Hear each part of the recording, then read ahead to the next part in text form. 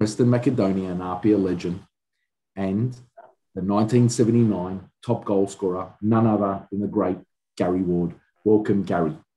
Oh, thanks, Sasha. That's a nice intro. Thanks so much. Pleasure.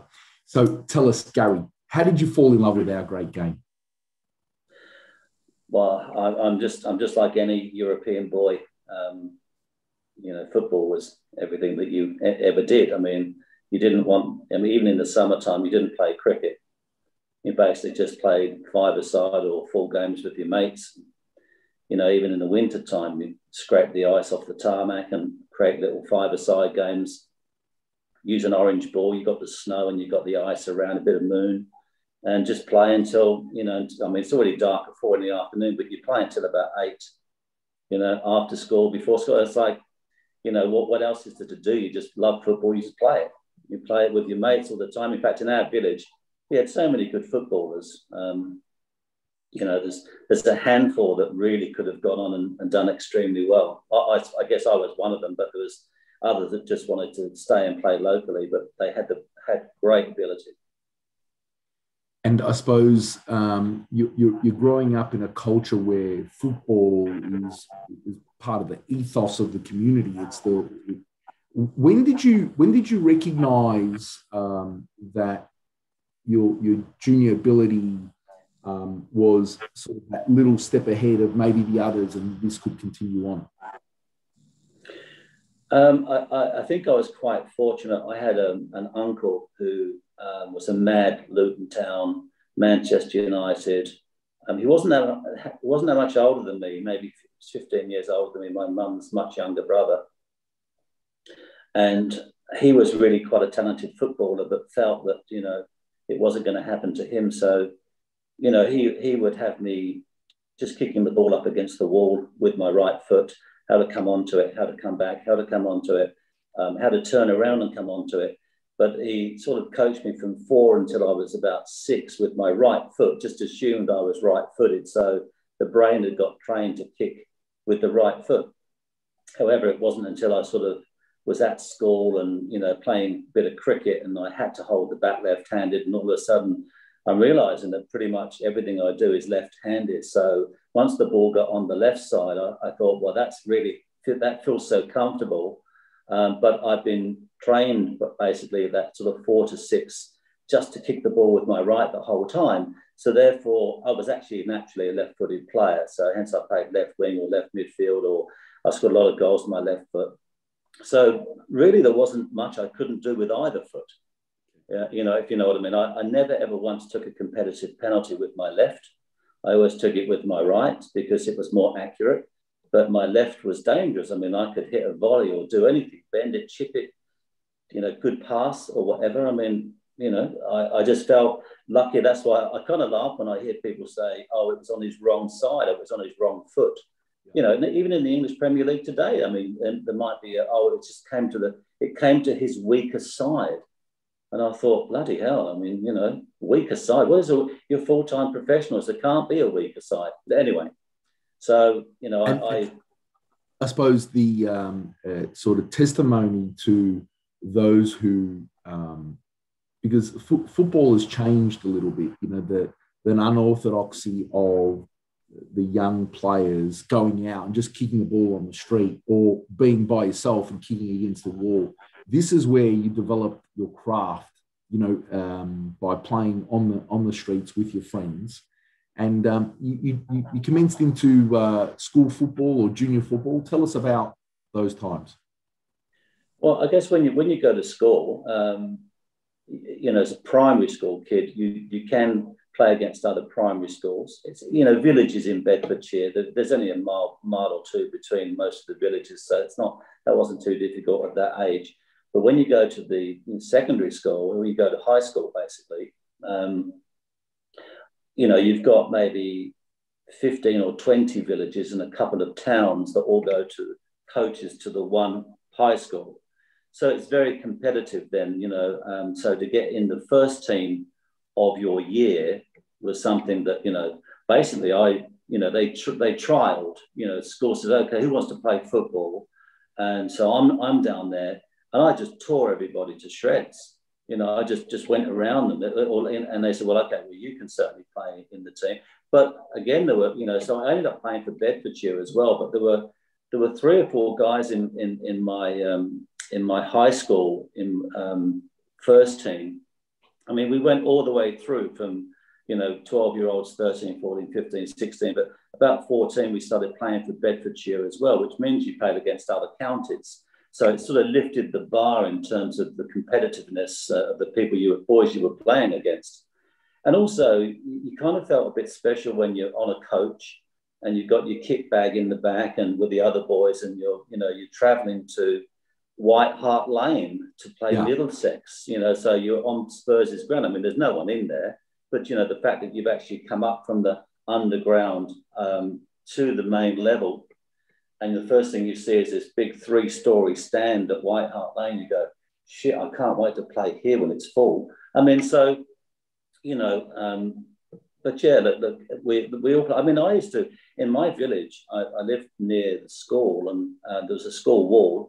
Um, I used to just chalk circles and put A, B, C, D and everything else, and then just practice with the right and practice with the left, just bending it. Can I bend it into there? Can I bend it into there? To try and hit those circles from different angles, and then driving it from the front.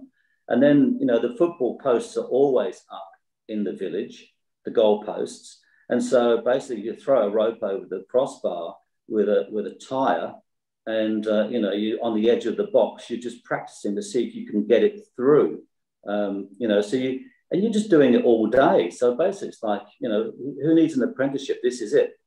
And then I used to put posts in the corner. So here's the goal. I put a post in the corner about two foot from the actual goal post itself on both ends, and then just practice trying to hit those corners with mm. the left and the right for hours. So I mean, by the time you got to 14, you, you were pretty useful. You know, if you if you had that that natural ability to do that. And I, you know, I was bad at a lot of things, but I was quite a good. I was quite good at football. Yeah.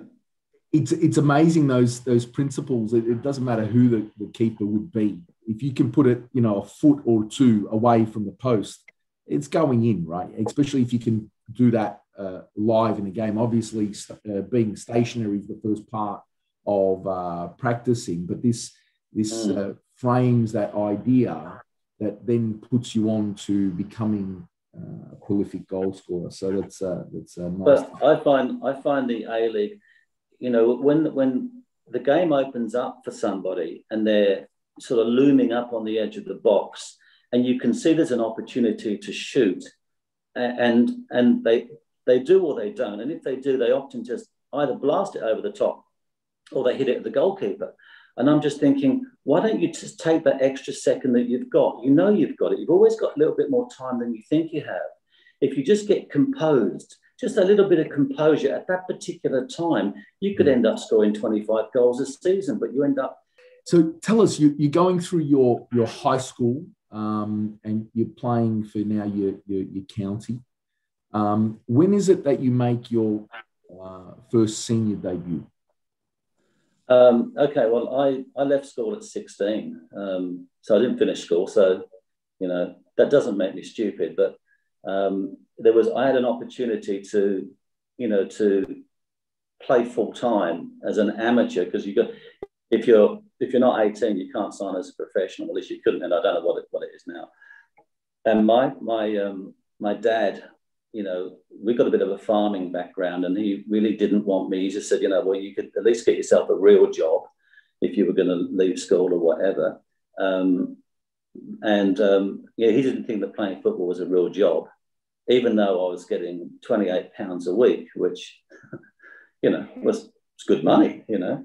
Um, hmm. so I got I got an opportunity to play for Crewe, um, and it was basically just somebody that knew of me who said, "This boy's got a bit of ability." And next thing, I'm on a I'm on a train from Bletchley to Crewe, um, and the manager was Harry Gregg. I didn't know that Harry, that the famous Harry Gregg, Manchester United goalkeeper from the Busby Babes. And all. I had no idea. All I knew was this, this guy was the was the manager, and he had an Irish accent, mm. and that was it. And they, they so they, they lined me up to play a couple of two or three friendly games. And the first one was in what they called the Lancashire Floodlit League.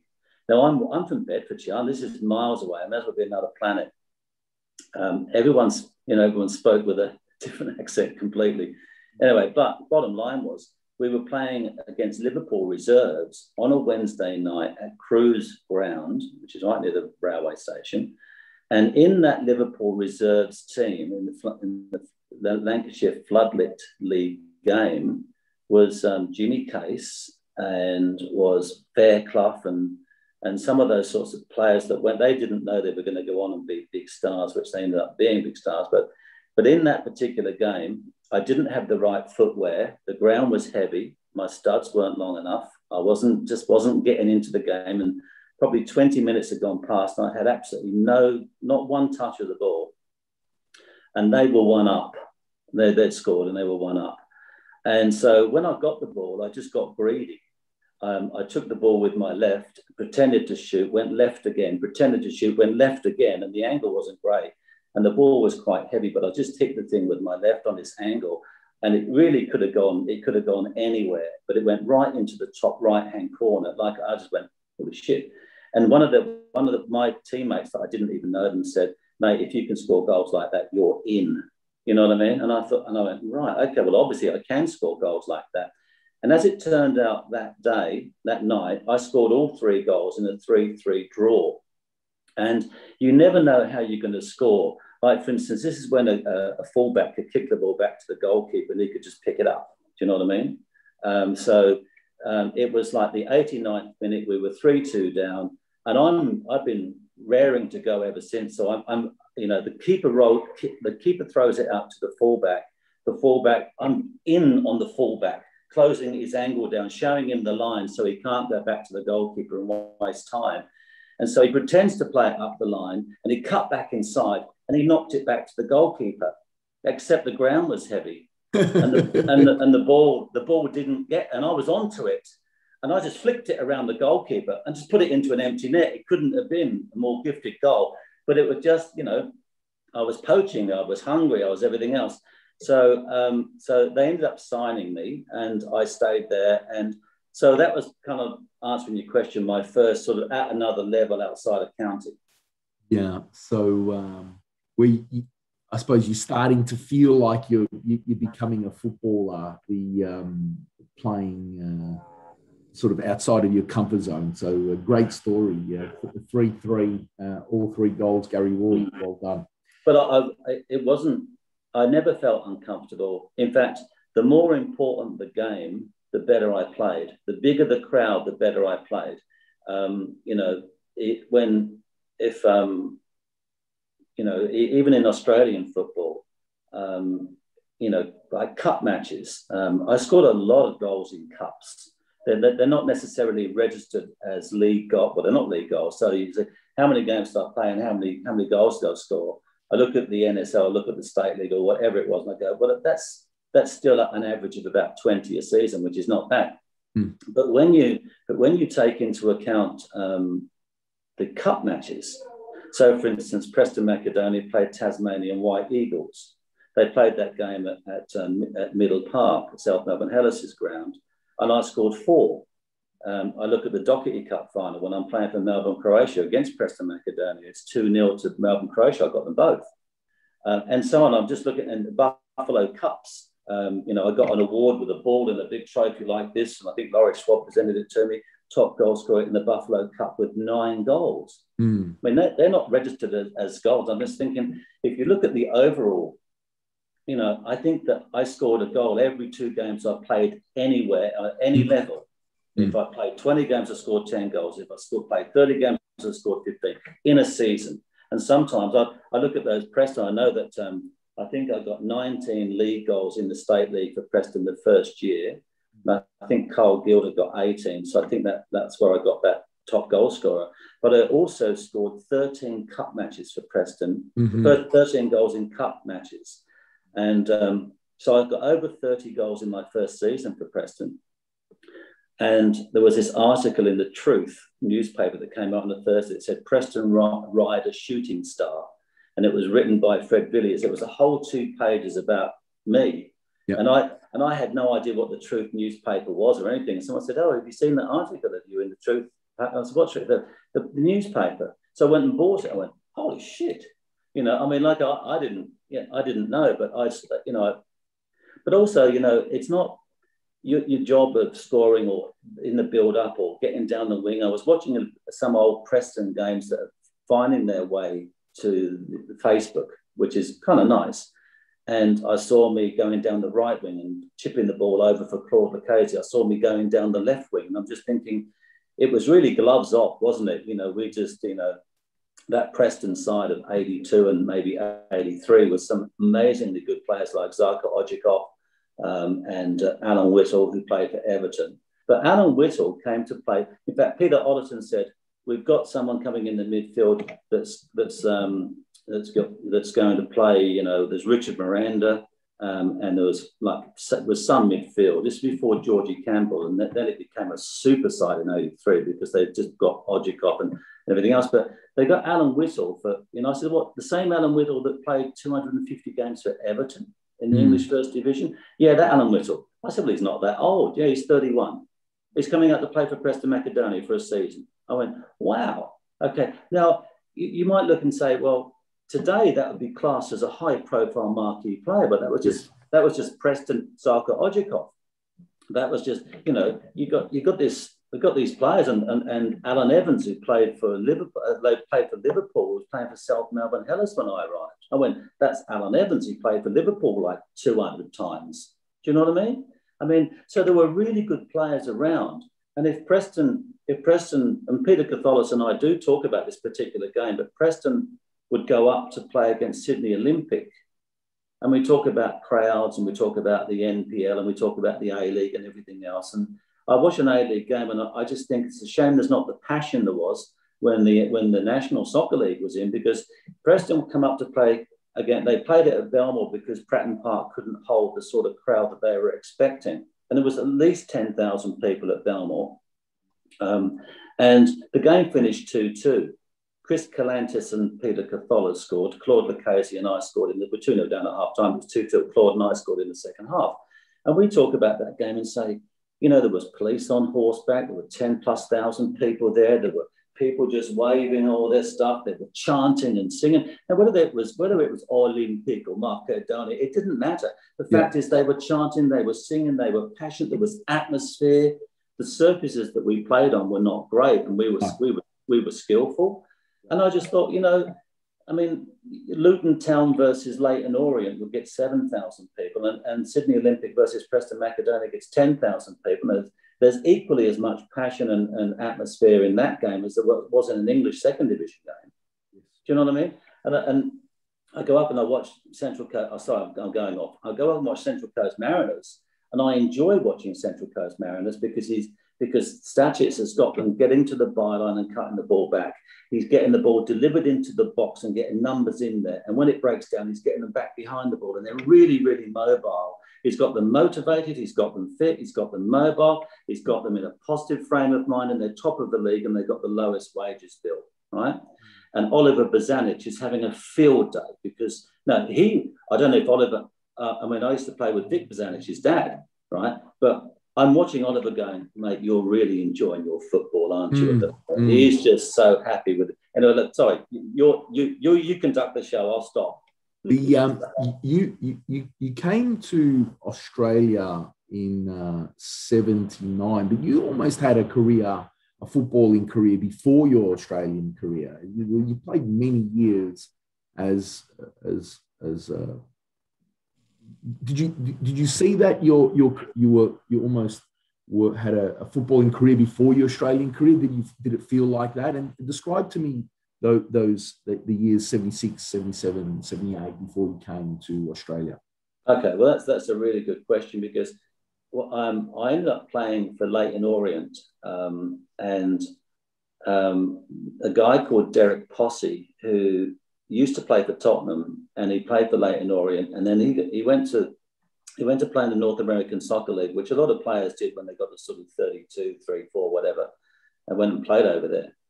And I'm, I'm still only like, you know, 18, 19, 20, and he, well, 19. And he said to me, um, a young boy like you really, you know, you've got ability. Why don't you go and play North American Soccer League? I said, well, how, how would I, you know, how would I work that out? Yeah. And he said, he said, well, I, will um, I'll have a word with, um, with the manager and, and tell him that, you know, we should be signing a young player like you. So out of nowhere, I'm, you know, my mum phones me and says, I've got a, I had a phone call from somebody that phoned our home. I wasn't living at home, phoned our home number. And um, he was from Canada. And, and I said, look, I'll, I'll, I'll phone Gary and get him to call you. So I ended up speaking to this guy who was um, like administration type of guy. And then, then the, um, the coach came on. Um, I'm trying to think of his name. It's German, um, not not Rudi Gutendorf, it was someone with a similar name. But he um, he said, look, um, you're not going to cost us anything because you're on, you're on a free outside of the UK. So we'd like to bring you over. So I, I find myself flying to Vancouver, um, you know, with a with a with a suitcase, and I had no idea what to expect. And you know, it was it was Vancouver. It's beautiful, and they put me into a flat in North Vancouver, just over the over the um, Lionsgates Bridge. And so I had teammates and I had a whole different culture. I mean, there were there were you know native Indians basically with a couple of feathers in their walking on the streets. I'm just going, wow, this is like you know, and, but it was true. That's like you know that was the, you know the Aboriginals of Canada basically, and and um, so I, I, I, they, they, played at Burnaby. We played at Burnaby at um, at the old original Olympic Stadium, and I ended up playing in the North American Soccer League until my knee went. Mm. I, my cartilage tore. So, um, are you still there? Yes. Oh, okay. Um, and uh, so, but I there was there was an experience that I just you know absolutely loved. I I had surgery. I had a uh, you know before keyhole surgery, so they had to cut down the outside of your knee and dig out the cartilage and stitch it all up and hopefully and put a cap on it and hopefully you know you'll recover and some people didn't recover from external lateral sort of knee surgery um, but i did i was back i was back on the training path four weeks later um, i had a quick recovery so um, but when I'm, I'm back in england and um, i get a phone call from um, oh, who was it some guy who said, I, I position players around the world. Mm. No, I know you've been overseas. Did you want to go and play in Hong Kong, South Africa, um, or Australia? And my, my response to him was, Do they play football in Australia? And he said, Yes. He said, There's, there's a very competitive national soccer league. He said, I can, um, um, I, can, I can line you up with a team called Apia there mm. in Sydney. And I went, okay. He said, and he said, you, will get um, about 260 um, Australian dollars a game. And he said, and the pound at the time, the pound and the dollar were, were quite close at the time. And, and I'm looking at thinking, that's, that's not bad. Um, so he, he'd all, so I got this contract from Apia and I signed it and I obviously in the post, there was no internet and sent it back.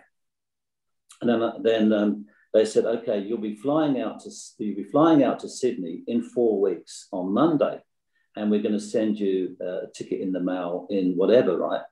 And so, but also, I, I was I start I was talking to John Brown at Preston, mm-hmm. and and he I said to him, well, this is what I'm being offered in Sydney. He said, well, we can match that, um, but I said, no, I've al- I'm already committed to play for Apia in Sydney. And it was just it was just pure coincidence or by default that I got a phone call about a week later from um, uh, what was his name? Um, he was the he was the manager. He was the coach at Apia, and I wrote an article um, that that one about 19 goals in 16 games by the man Apia didn't want was the headline in the Truth. And whoever the coach was at the time phoned me and complained that it made him look silly right? I can't think what his name was, but anyway, and they they said we've run out of visa spots. Yeah. So um, you know, we we had allowed one for you, but we just can't get another one for you. I said, well, don't worry about it. So I phoned John Branoff and said, is that offer still open? He said, yes. And that's how I ended up going to Preston. But I, I didn't know that Preston um, was state league mm. because what would I, how would I know? Yes. You know, Apia in Sydney or Preston in Melbourne and the money is the same. And, you know, it's only when I got to Melbourne and they said, by the way, we play in the, in the state, Victorian State League. And I said, well, what, what does that really mean? They said, well, it means that the National League, they fly to Canberra and Adelaide and Wollongong and Sydney and Brisbane and whatever and but we're trying to get into the National Soccer League. So we want to we want to get higher quality footballers to come and play at Preston, so that we can win the state league a couple of times, and then we'll be we'll have a really good case to get into the National League. And, and I said, okay, didn't didn't bother me. I mean, games games in Melbourne, you know, against Melbourne, Croatia, or you know, against Green Gully, or against um, you know, um, what's it down in the in the um, down the down the peninsula. Um, Morwell Falcons. Morwell so Falcons. Yeah, yeah. Morwell Falcons. Um, and Brunswick Juventus. Brunswick you know, Juventus. and, and then and then you got to play a cup game against um, South Melbourne Hellas, mm. and and that was that was something else. And they said, what, watch out for this game, Gary, that we're playing in, in a cup match in two weeks' time on a, on a Wednesday night. They'll play at Olympic Park and there'll be 10, 12,000 people there because it's a Greek Macedonian derby. And I went, right. And he said, the, the laugh was, oh, it's all, it's all to do with Alexander the Great. But yes. don't tell Heidelberg that. Don't tell, don't tell the boys at Heidelberg, the Jimmy Campbells and these guys, right? And, and but there's this Preston Macedonia, Heidelberg Alexander, South Melbourne Hellas. So when Preston did slip into the National League, those those games, those games were phenomenal. You know, they they like they would get you know the Olympic sorry at um, at Middle Park, Preston versus South Melbourne at Middle Park. Wow, like it was just rocking. Yes, it was. It was, and of course the ground was quite tight. So you know you go to take a throw in, and you know you're, you're right near the crowd. But no, I really I really enjoyed the, the five years at Preston. It was it was great. And obviously you got the opportunity. The first year was quite. Uh, the first year was quite um, instrumental. Uh, so you definitely hit the ground running, but you always um, had that ability to to find the the net. I think the best strikers are greedy, and they want to take the shot. So they they want to they want to have the the glory of taking the shot and scoring or taking the shot and missing, but it's that they're cumbersome that they want the ball. And I think that you were that type of player. You always wanted it. Um, but you had also had other uh, good quality players. You mentioned Claude Lucchesi also banged a number of goals next to you, um, and you fed off each other. So tell us about that that combination play between you and Claude. Well, I really like four four two. I think that if you've got two good strikers, um, and they can play together well. There's different different styles there because you've got Kevin Keegan and John Toshack when they were at Liverpool. So one's really good, quick feet, turns, and Toshack's good in the air and holding the ball up and laying it off more Viduka style. So you get different types of, of, of, uh, of strikers. two strikers' job, like Rod Brown and I at Apia. Right? Mm. Rale Rasic wanted to play 4 4 2. And he was right because basically Rod and I, I was I was more experienced. Rod was only a young, young Socceroo at the time, but he really enjoyed playing next to me because I could educate him at the time. But anyway, so Claude and I, well, Dougie Brown uh, played at Preston. Yes. And they Preston sold him to South Melbourne Hellas um, and bought Claude from Brunswick Juventus. And that was a really good move because um, Claude played, I played sort of on the left side up front and he played sort of on the right side. So that was the two prong there. But we were different styles of players um, in that um, um we, um, if you asked Claude to score a goal from 20 metres, he couldn't. But if you asked him to turn on a sixpence and put it in the corner from three, he could. Do you know mm. what I mm. mean? He, mm. like, um, he was also good off both feet. He was good on the left and he was good on the right. He knew where the back of the net was. And I think that he and I got a nice little combination going where, you know, I know this, I know you sometimes you are greedy in the box and it is your job to, to be greedy when it suits, but he and I would often, if the opportunity was better for Claude, even if it looked like it was okay for me, but it was definitely better for Claude and vice versa, I'd give it to him. Do you know what I mean? And so, so we didn't have that absolute greed hmm. because mm. I knew that if I gave it to Claude, chances are he'll put it in. And in the interest of the team and getting it, getting on the score sheet and, or, or pulling one back if you're one nil down or whatever, that was the most important thing. Because, you know, I mean, I, I often think, what what would it be? What would it be like if I'd have been a defender? You know, I mean, it's it's almost like a thankless task, isn't it? You know, a Charlie Yankos or a you know um, a Tony Henderson or these sorts of players. You know, um, because you don't really get the glory when you're a defender. Do you know what. I mean? Hmm. I mean, you, you get that, that that feeling of putting the ball in the back of the net is like a drug. It is unbelievable, and that you just that you can't. It's like wow, and that feeling, and then and then of course, if there's a half decent crowd there, you can just go and really sort of just just enjoy that moment, and you you feel that your whole body is lighter and your adrenaline is absolutely pumping and your confidence levels are through the roof. I mean, there's nothing more dangerous than a, than a, a goal scorer that's just scored because he's likely to score again. You know, it's like waiting for a bus in London, you get nothing for an hour, then three and five minutes. I mean, it's like that's the beauty of our, our beautiful game, isn't it? Is that it could be, you know, nil. People say, oh, you know, nil Neil. and yeah, but you know what? That goalkeeper made some saves the, the, the pressure, the tension, and the whole thing. And then you get two goals in the last 10 minutes of a game. You get two goals in the first five minutes. I mean, what sort of game is that? Even in ice hockey, there's, there's plenty of goals end to end to end. How, what other game is there where any time anything could happen? You know what I mean? And, and, uh, so, so I should have mentioned. So it's Claude and I. Sorry. So you obviously got success in the in the state league with Preston, and, and probably uh, Preston's um, testimony to Preston coming into the to the National Soccer League, and then they brought out, uh, like you, you, you rightfully said, a number of quality individuals, including Odzakov, who was playing in the Yugoslav First Division um, for. Um, uh, for Vardar, um, and he mm.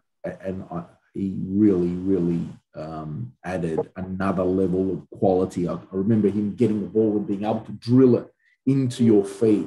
If you didn't have a good first touch, um, it'd probably bounce off you. He, he, was that accurate, and he was able to sort of shift the the, the, the play as that midfield general. And I think that that um, that was a very very good um, uh, Preston side, I think in 80, uh, 83. Yeah, 83. Um, you, you, you were injured, however, for the, for the uh, I think it was the, start of the, the 82 year um, with a, a, a broken, uh, a broken leg. How did you sustain uh, that chop? Well, you know, um, I, I found that playing in the state league, um, unfortunately, that some of the players were just hackers. Um, and a player like me, that should have always been playing in the National League anyway, was was fair game. Um, and especially if I if I turned and moved off the mark quite fast, they were often late with the challenge. And they were late purely because they weren't good enough. And so, you know, if in doubt, try and stop them any way you can. And um, and it was um, it was at Olympic Park when Ante Bulovic, it was just a chopper for for um, Sydney uh, for Melbourne, Croatia. I mean, he had no no ability whatsoever, and I'm going to be critical of him because he deliberately broke my leg. I mean, there's no attempt to play the ball whatsoever. Um, I turned, I knocked it past him, and he was like a like a steam train. He was going to take me out no matter what. And I was slightly off balance. And all of a sudden, you know, this is at Olympic Park, and you know, you get this amphitheater effect and sound that goes crack. And uh, you know, and you know, I even heard the crowd go, "Oh shit," you know, because and, I, and I, you know, I heard the crack as he came steaming into my left shin, mm. miles from the ball. Do you know what I mean? Two footed up in up in up in that area, And unfortunately, yeah, it did fracture. It didn't actually dislodge it, but it cracked it all the way around. Um, so, you know, you needed a plaster. There's nothing you could do about it. And um, so I sort of, I came back too soon, hmm. just desperate to get back on the park. No, it's okay, it's all good. Um, and and so I was playing against Footscray. So this is a, an NSL game, I think, at the beginning of 82, whenever it was. And Joe Piccioni, now he didn't deliberately do it. He's quite a good player himself. Um, and but he caught me in that same spot. Hmm. Um, and went again. He, it, it, cracked again. And he, he said, um, he said, look, I, it was a bad tackle from me. I'm so sorry. He sent me a basket of fruit and a bunch of flowers, and he was he felt bad about it. Not Andy Buller, I didn't hear anything from him, but um, but unfortunately that meant a second fracture, and then I have to read in the paper, you know, Ward's finished, you know, sort of that sort of headline. I said, "Phew, you don't know who you're dealing with." Um, so in the end, I sort of got the fiberglass plaster on, and I went off to England. And a mate of mine who was living in Torremolinos in Spain, I phoned him and said, Can I come over? He said, Yes. And I spent three or four weeks there just training on the beach with my fiberglass plaster on and um, came back at the beginning of the 83 season. And I, had to, I wasn't on contract. And I don't think Preston wanted to give me a contract until I could prove that that leg was okay. Mm. And we played a cup match, a pre season, was it, you know, whatever, is it Buffalo Cup or is it Docky Cup, whatever it was. We were playing Melbourne, Croatia and we won 3 1, and I scored two of the three goals. Really, mm. really, I was so fit and sharp and fast. And Johnny Gardner and Steve Short both said, you, you were way, way too good for us today, me individually. And John Brenoff, when we were walking off, came up to me and he said, I think you better sign your contract. I said, sure. You know what I mean? So I was, I was, you know, all of a sudden my leg was okay again. But you know, I mean, today, I mean, I've got the, I've got this callus out yes. the side, you know. People don't don't realise that when, when your leg goes into a plaster or a cast, or if you have to do a reconstruction, how quickly you lose the muscle of, mm. of your leg, and how how you need to to work on to build it up. You know, only you know a week of not walking and, and your leg withers away the muscle in your leg. Mm. Um, mm. How was your confidence once you, you, you came back on on on that leg? You know, it was the strength of equal weight? How, how did you compensate? Um, well, I, I uh, went to um, Barry Richardson's physiotherapy um, business in Richmond Hill, um, where I met a few AFL players, and we were just doing leg strengthening with Cybex uh, testing and everything else. So I knew that it was back to 100% each uh, because you could measure it, you know and only when it only when it's back to 100% each. Uh, but I, I wore um, I wore um, um, a pad at the front, but I also wore a pad at the back, uh, just in case.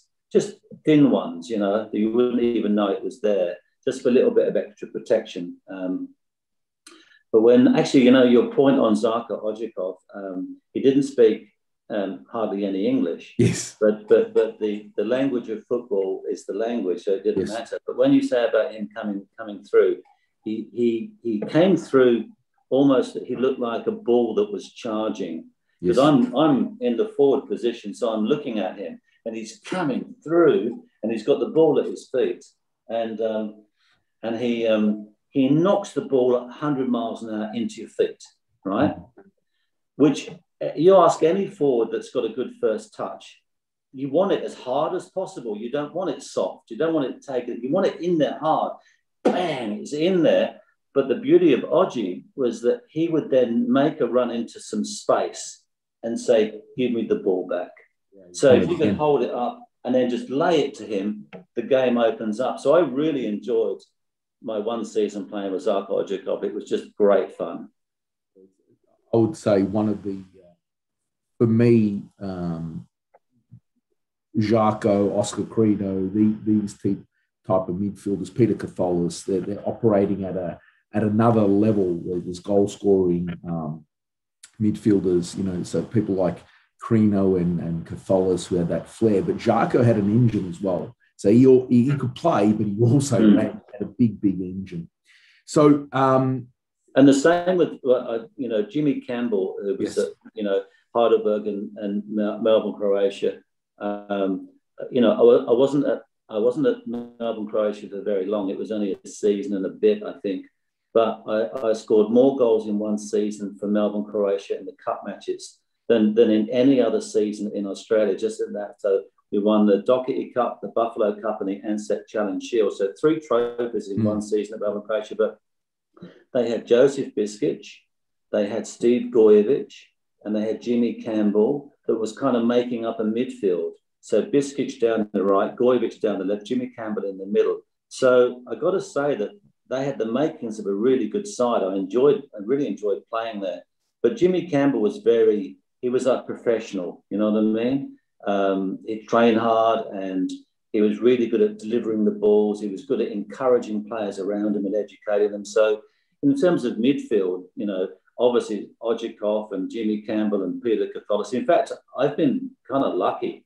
You know, even the one season I had at Brunswick Juventus, you've got a young Paul Wade and, and John Dowie and some of those sorts of players that, that were there as well. And I mean, you know, John Dowie, who played for Brunswick Juventus, is no longer with us. You know, um, I think he passed away a few, you know, three or four years, five years ago. I'm not, not, not sure how long, but I got a bit of a shock because he was my teammate when he was my roommate when Brunswick Juventus travelled interstate.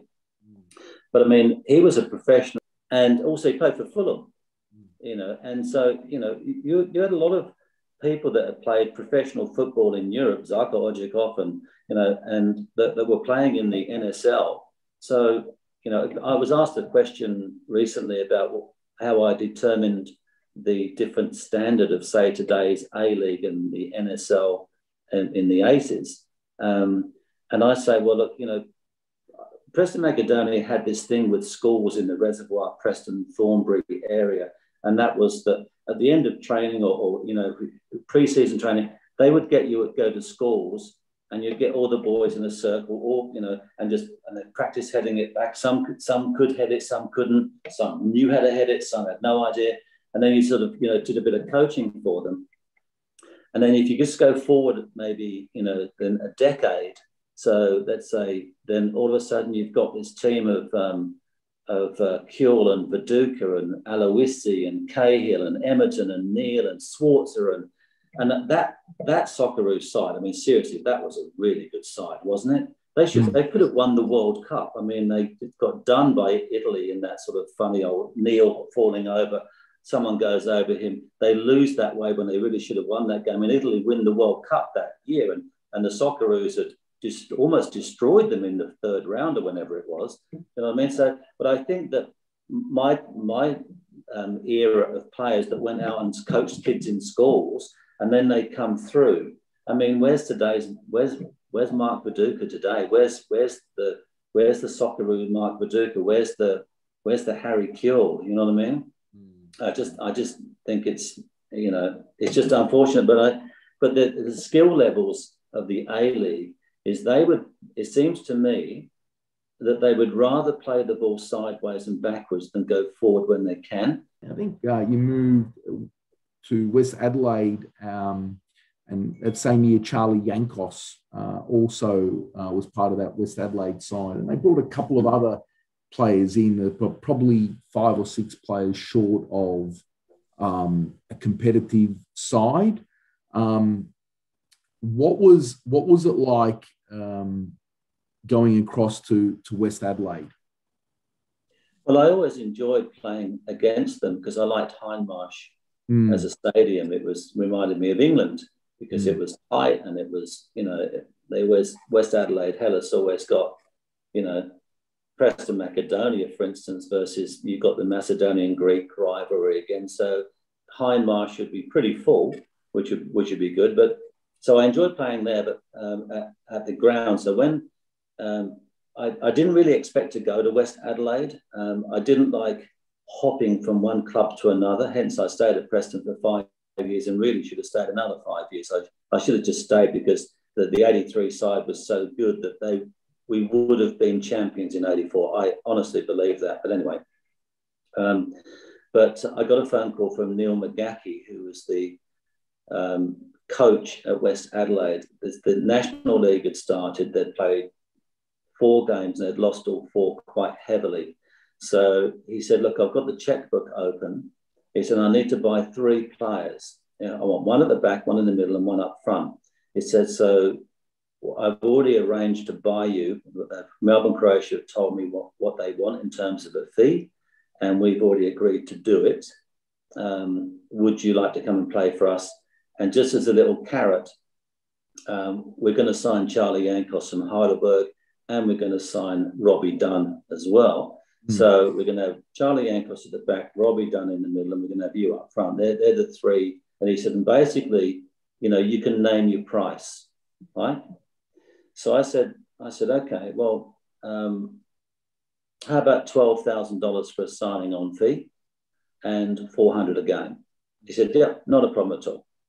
And so we we were about to play our first game, and so this I is in this is in um, 86. 86, 86. Yeah. So what would be the average wage uh, in eighty six? What uh, you know would it be half that half that or two, three hundred dollars? No, I, I, I, think. Well, look at, at Apia, I was on five hundred dollars a game, win, lose or draw. Now, fortunately, we won most of them, uh, but you know, all the players at Apia were on five hundred dollars a game. That mm. was the, that was the base salary for everybody, right? Yeah. So four hundred dollars a game at West Adelaide had us in the twelve thousand dollars signing off fee, plus the fact that they gave me an apartment in North Adelaide to live in for free. Do you know what I mean? and they said they paid they they make they pay my lease payments on my car. Fantastic. I mean, at the end of the day, you know, I don't know where they get the money from. I don't I don't care. But so and, and the first game was against Brisbane Lions at Hindmarsh. And, and, and the Adelaide Advertiser on the Saturday, on the back page, um, can't think what his name was, but Neil McGackie had left and Edmund Kreft had come in as coach. Um, but on the back page of the Adelaide Advertiser, it said, Ward's going to do this tomorrow. Mm. And the pitch dropped me. And I went, you know, that's a little bit unfair because, you yeah. know, what about you've got the Socceroo captain at the back, Charlie Yankos, the, you know, why do I, why is that all the pressure loaded on me? You could say that Robbie Dunn's a Socceroo, Charlie Yankos is a Socceroo. Why don't you put a bit more pressure on them? Robbie Dunn's going to tear the midfield apart and provide goals up for, or whatever. But no, it was I was going to do it all right. Mm. And so that night I went, I went to bed and I'm thinking, God, there's a lot of pressure. Um, and I thought of all the different ways I could score goals. Um, and at half time the next day, it was nil nil. And I was walking up and I was getting booed. I thought, oh, okay, this, this, is not going too well. And then um, we had a free kick, and Robbie Dunn just said, You hang around the penalty spot. And when this comes, because Robbie was six three, when this ball comes over, I'm just going to head it back across the box and then you can come onto it. I said, okay. So I can't think who the captain of our side was, but he he um, he ball right to the far post. Robbie Dunn knocked it over and off his head, mine, and I put it in right so from about the penalty spot. So still needed a bit of work. And then about 10 minutes after that, I scored again with an overhead kick that went over everybody and just dropped it in. So we won the game 2 0. And I thought, well, I never thought of like all the all the goals I dreamt about, those weren't two of them. Mm. You know what I mean? So, but we still won it. We still won that game 2 0. And I felt I felt relieved about that. But we were having Robbie, Charlie, and I went out and had dinner. Um, and I said, I said to Charlie, how much signing on fee did you did you get, Charlie? He said, Well, I got what I asked for. I said, What did you ask for? He said, 30,000. And I went, What? He goes, Yeah, 30,000. I said to Robbie Dunn, I said, What about you? He said, 20. I thought, Why did I pitch myself at 12? I mean, you know what I mean? You know, why, why did I undervalue myself? When he said, you know, name your price at this 12,000 signing on OK plus 400 a game, no, they said yes, no problems. And Charlie's getting 30. I mean, that was a lot of money in 86. I mean, 12,000 was a lot of money in 86. But I thought, I thought the psychology of undervaluing yourself, mm. you know what I mean? Mm, mm. Anyway. Uh, the, uh, yeah, so the uh, Rale Rasic, probably one, one might say the man above his time in, uh, in 87 comes knocking and you get uh, put in that fantastic Apia side. He really did know how to build a squad. Um, mm. Throughout his career, sort of handpicked players, and, and he, he, saw that you could do a job. walk us through how how you you made it to Apia. But um, Charlie said, um, "I'm not staying at West Adelaide. I'm going to Apia." Robbie Dunn said, "I'm not staying here either. I'm going to back to Preston Macedonia." And uh, I went, "No, okay." Um, and he said, Charlie said, "Here's Rale's you know, phone number. I think you should give him a call." I said, "I said, well." does he want another swap? He said, no, he's, he, he's already told me that he's putting a side together that's going to win the National League because in 1987, hmm. the, the Football Federation Australia said they wanted to go to try out first past the post like the European model to see if that, you know, and then have a, a top four or five cup afterwards. But we're going to go first past the post. So Raddy's got this idea that we can probably win the league and then we'll be crowned as champions because we'll be first past the post. So I spoke to Rale and he said, I definitely want to buy you from West Adelaide. And I, because he said, because I've got Rod Brown from Marconi, I've got Peter Tredinnick from Marconi, I've got Peter Katholos from Sydney Olympic. And he said, I've already got Terry Butler and a couple of other good players. He said, I've got Arno Bertogna at the back. And, uh, and I've, you know, I've got Terry Greedy in goal. Mm. Um, and I went, wow. And he said, but, but Rod's 19. And he just, and, and your experience, if I can play a 4 4 2 and play you next to Rod, I think that will work well because I need someone who can, one, score goals, two, educate someone like Rod. You know, he's good in the air. I just, I see that as a good combination, Gary. And so I said, right. He said, he said, uh, West Adelaide are not asking a lot of money for you. Um, so, you know, do you want to come to Sydney? I said, sure. So I, I, you know, went up to Sydney, and then you know, um, uh, Michael Uricalo was the was the trainer, and he said, you know, we're gonna because I, I played against most of these guys, you know, mm. and then and then uh, Sydney City uh, pulled out of the National Soccer League. I think Frank Lowy just said, "I've had enough of putting money in," and you know, people like Kosmina went to Sydney Olympic, but um, Apia picked up John Paul De Marigny mm, and, and and um, and Tony Pisano. So you've got Tony Pisano and Terry Greedy competing for the keeper's role. Mm. And so Terry Greedy just didn't get to play much because Tony Pisano was just too good. Mm. Um, and then John Paul, Arno Bertogna was a great player, played against him when he was at Newcastle, KB. Um, and we had a, a, really good relationship off the park, even though we competed against each other. And Arno was really pleased that I was coming. Charlie Yankos was next to him. Mark Brown was on the right. And then they, they had this midfield of, of Terry Butler, Peter Tredinnick, Peter Katholos, and another young soccer in Alex Bandalo, who was like only 19 as well with Rod, myself. They signed Hilton Phillips from Canberra City to be, be, be a fast winger. Um, so that and Vic Bazanic, um, and so the squad. I'm looking at the squad going far out. This is yeah. This is some Star squad. A yeah. lot of competition for places, which is what you need. And um, but Rale, I find Rale's psychology really really interesting because um, I'll give you an example. Apia were like six games in, and we we had not lost. Think we'd won four and drawn two, but we were six games in. And we played Sydney Olympic at home, and it was a big crowd. And we were 1 0 down to a John Kosmina goal, and it was an absolute cracker uh, from 25 metres. It was just a cracking goal. And um, so um, we're 1 0 down. There's 20 minutes to go. We want to see if we can hold on to our unbeaten start to the season. And I got put over the, over the you know, oh, sorry, um, we had a corner and I went to the near post and flicked it on, which is something I've done a lot in, in the past. And Charlie Yankos came in behind me on his knee and hit him on his knee and it went in. So it's 1 1. About five minutes from the end, um, Peter Tredinnick played a ball over the top. They were playing very square at the back, and I'm just hanging off them, hanging off them. The ball was chipped over, and I picked it up, and my angle was terrible. And it was like one, one chance at this. The keeper was committed, and I was out really, really wide on my left. I've got to hit it now and I've got to hit it hard. It's got to be low. Uh, it's only going to get one crack at this. The surface isn't great at Lambert Park, I can tell you. And but I, it, it, went in and we won that game 2 1. And with that was the seventh game, we thought we began to believe that you know things might be very possible. But we're playing against Marconi the next week. And Marconi were equal top with Sydney Olympic and us. They were having a good start. We were still top only by a point or two. And we're playing against Marconi, and he's got. We're looking at the team sheet at Bossley Park, and Peter Tadyan, sorry, Peter Katholos and, myself, we're on the bench.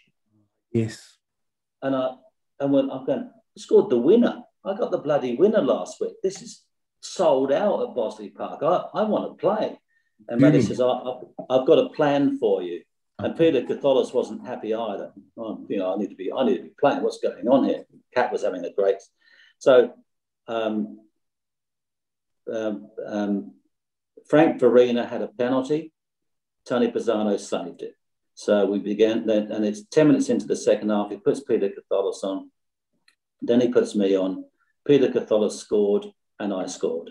And we just and we won that game too. And I just thought, okay, I I believe you, Rale. Now I just believe you. It's okay. Yes. You're you're the boss, right? He just he had us all. He had us.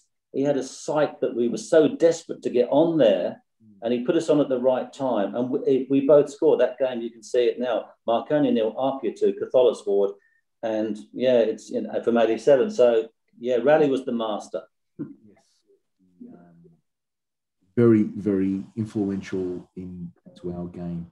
So, um, tell us of you. You played in many sides, and you had you played with many great players. Um, you would have shared uh, a number of rooms uh, with who who were the who were the players that you were closest with um, that you shared greatest memories and maybe friends uh, till today well um, I go to Melbourne every year for the Billy Whiteside Cup, um, wherever they play that. Um, and well, as I say every year, I've been I've been to three now, so I catch up. I'm catching up with with you know Gary Cole and Jimmy Campbell and and you know all, all that and and Brooksy and the whole crew of, of really really great guys. Um, but um, I'm really good friends with Archie Fraser. Um, and well, Archie was the CEO of the A League when it first started. So he believed, you know, he believed in a marquee player being Robbie Fowler or, or Emile Heskey or Del Piero, you know, that, that real marquee players, you know what I mean? Um, and so I follow, I follow, I, you know, we talk about football all the time. It's gone back to Queensland, but I, I, I really like him involved in the game. But, but uh, also, so I had breakfast with Archie in Melbourne. I had breakfast with Archie and Claude. Do you know what I mean? Uh, so Claude and I are still are still good mates. But you know, you, are lifelong. I mean, like um, um, players players that uh, like um, Eddie Campbell, who was a fullback at Brunswick Juventus. I mean, they were champions in '84. But Eddie lives in southern Spain, and um, you know, and we chat and yarn on Facebook and everything else. I haven't seen him for years, but you know, next time I get to Europe, I'm going to go down and see him, have a weekend there. You know what I mean? So this football family, how lucky we are. And I, I honestly believe that the 80s in, in, in Australian football was such a unique era. I mean, yes, I played in it. I would say that, wouldn't I? But, you know, it, I think it set the foundation up for what was a brilliant Socceroo, uh, Socceroo team because when I played at Melbourne, Croatia, Mark Viduka was, I think, 14 year old junior. he was playing, he was like, they called him the bomber then.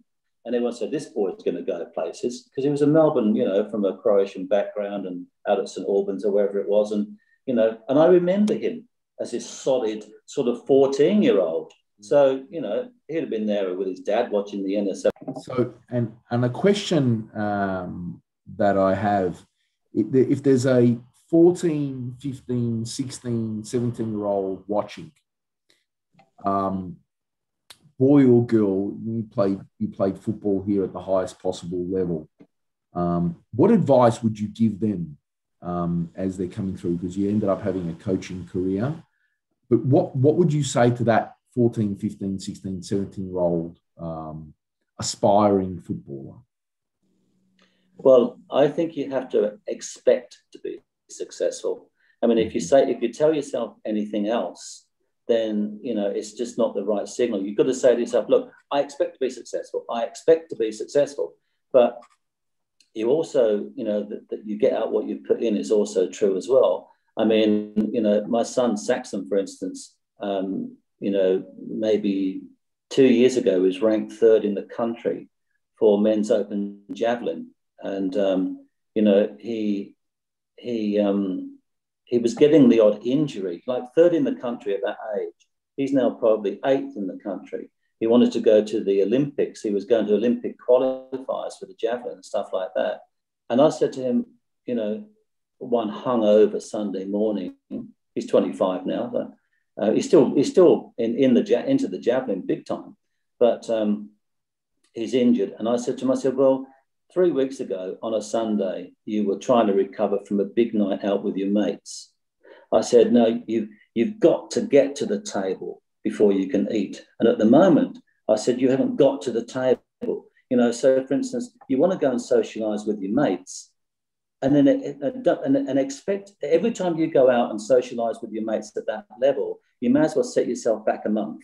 Mm. Okay, so so do you do you really really want it? Do you you know do you really really want it? I mean, because if you do, you'll dedicate yourself to it. You'll have your kit bag ready. You'll have it all ironed and folded. You'll be, you know, you'll get up in the morning and do a stretching routine and do some sit-ups. And you know, every day you're dedicated to the course. I mean, I'm on Facebook or Instagram. I'm connected to Thomas Röhler, who's the world champion javelin. He won the won the uh, Rio. He won the the gold for javelin.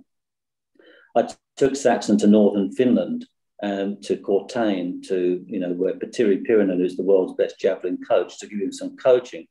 And I said, you won't find Thomas Röhler out out on the piss, if you know what I mean. Mm. Um, so look, you can you can you can you can socialize when um, self you can you can socialize when you've made it.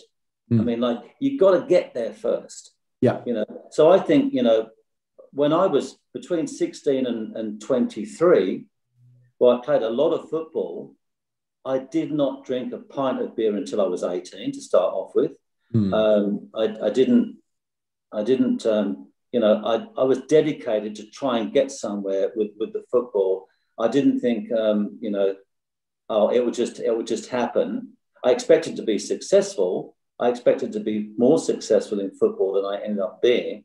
And Tony Brezina would be the first to say, if you had have taken football in Australia more seriously, Gary, um, you probably would have gone back to England after two seasons and picked up a, a much bigger career. I mean, at one stage, I was um, asked, I was going to sign for Tottenham. So that was actually true. Hand on heart, I had, a, had an offer from Tottenham and got injured uh, at the wrong time. And in those days, they said, okay, who else are we looking at? Okay, this mm. boy and this boy. So you sort of like a production line of opportunity, then it goes it goes astray. But you know, um, I mean, I was you know reasonable good, good, mates with Kerry Dixon. They went on to Chelsea, and you know, a bit younger than me, but we used to practice at Dunstable's ground when we were, you know, whatever. So he went on to to play for England under Bobby Robson. He went on to be a top goal scorer at Chelsea for several seasons. And I didn't see me being any less a footballer than Kerry Dixon was. Do you know what I mean?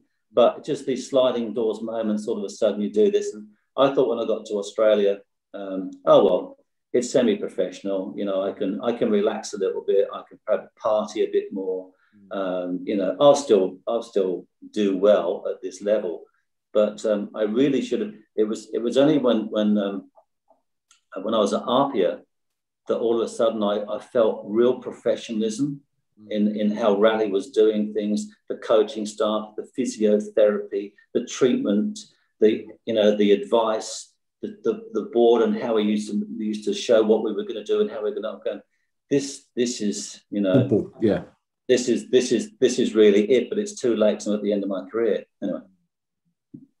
Fantastic words of wisdom, Gary Ward.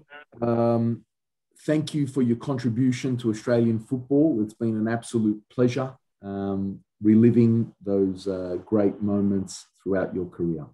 Well, thanks for having me, Sasha. I mean, this is great fun, and we can talk about the game. I mean, there's there's football on tonight, isn't there? You know, mm. I mean, I'll just I'll be I'll be watching it. Oh, I'll go and watch a game. I mean, you know, you, you just love it. I've got some surgery coming up at the end of this year.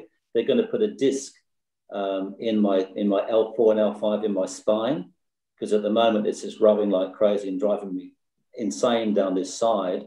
Um, and then, according to um, uh, Associate Professor Steele, I should be able to get back on the park.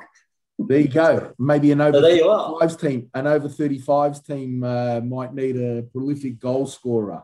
How about Uh, that? I'll, I'll, I'll be I'll be over. No, no, I won't say. You get where I'm coming from. yes. There's a six at the front, but don't tell anybody. well, you're looking great. All right, Um, well, thanks very thank, much. thank you very much. Um, you, uh, you, you've, uh, you've been a great storyteller, reliving um, your legacy. So thank you. All right, cheers. All the best to you. All the best. Hey guys, we've come to the end of this episode. Thank you so much for watching. I really appreciate you taking the time to listen to our wonderful guest. If you like this type of content and would like to see more, how about you hit the like and subscribe button? And have a fantastic day.